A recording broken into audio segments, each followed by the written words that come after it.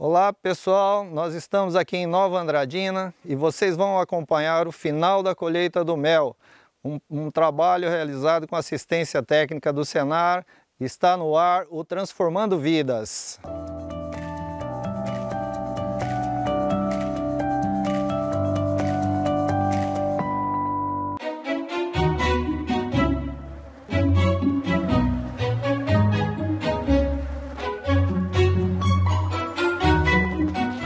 Meu nome é Lupércio Braga Landim Júnior, mais conhecido como Juca. Sou técnico em agropecuária, é professor de educação física, tenho pós-graduação. Sou do interior do estado de São Paulo, da cidade de Núbia Paulista.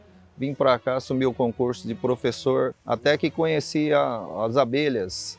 Aí começou a me despertar um interesse e me apaixonei pela atividade. Né? Comecei com apicultura em 2018 né? Comecei capturando enxame, perdi enxame, não sabia porquê e, e assim, conhecimento empírico, né? Com pessoas que já tinham conhecimento, mas conhecimento empírico, nada é, tecnicamente, né? Aí vieram os cursos do Senar, né? Comecei a fazer curso com o pessoal do, do, do Senar, curso de apicultura básica, apicultura avançada e, e aí não parou mais. Aí a, a paixão não deixa a gente parar e as abelhas empurram a gente para frente, digamos assim, né? E aí eu conheci o ATEG e fui atrás, até que consegui uma assistência deles, né? Eu quando comecei tinha a intenção de ter aí, sei lá, 20 caixas, 30 caixas, né? Mas perdia-se muito. Com a chegada do cenário, hoje eu estou em torno, com em torno de umas 120 caixas mais ou menos.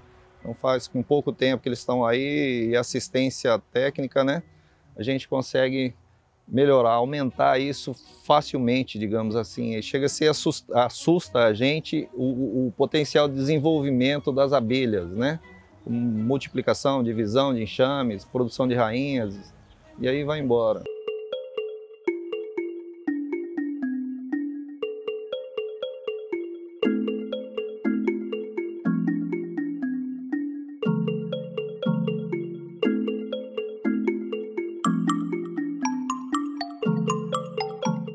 Bom, pessoal, a gente que está gravando esse Transformando Vidas, nós também precisamos de muita segurança, por isso que eu estou aqui, ó, paramentado.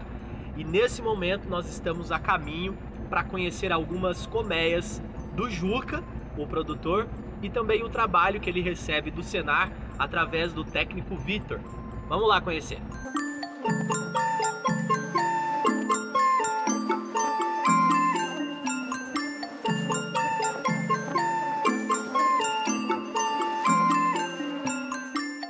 Esse ano foi boa a colheita, nós tivemos bom resultado. O ano passado, devido à quantidade excessiva de chuva, atrapalhou muito o fluxo floral, né?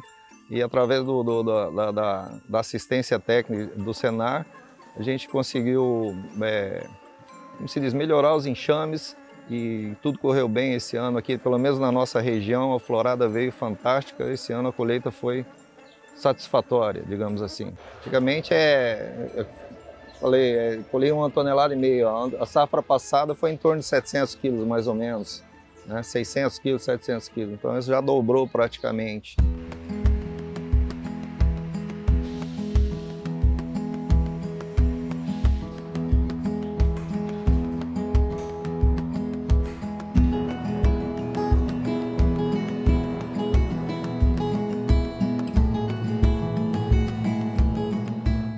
Comercialização nós temos, é, através da Pinova, da associação nossa aqui, nós temos o selo de SIM, que é o selo municipal, e o CISB, né, que nós podemos vender o nosso mel no país inteiro.